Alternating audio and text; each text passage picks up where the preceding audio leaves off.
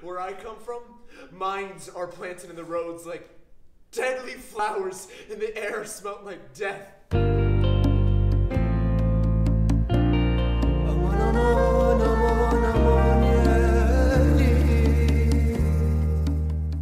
A refugee who comes to America and he has nothing. He has no identity, he has no help, he has no family, he's got nothing. And it's so important in today's society that people are aware that this is actually happening.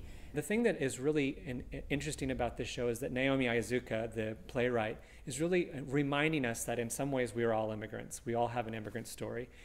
Where I come from is high up in the mountains, and the sound of thunder is so loud it sounds like the end of the world. We're employing a theatrical device called found object theater. And what found object theater is, is the actors use different props to provoke the audience's imagination so we can quickly go in five seconds from one location to another. Old people and little babies.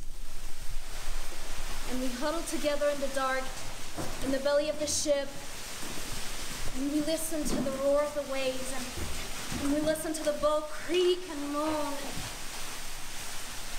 And then the storm started. The winds began to howl, and the sky opened up, and rain came down, sheets and sheets of rain. Restless minds walking straight have no time, they